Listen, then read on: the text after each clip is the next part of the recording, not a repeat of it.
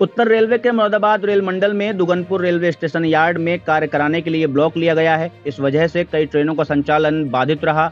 दो ट्रेनों को डाइवर्ट किया गया तो कई ट्रेनों को रास्ते में रोक कर संचालित किया गया। इसी वजह से बरेली जंक्शन पर अवध असम एक्सप्रेस और दून एक्सप्रेस नहीं आ पाई। इससे यात्रियों को काफ़ी ज़्यादा परेशानियों का सामना करना पड़ा। अभी ये परेशानी 26 जून तक जारी रहेगी।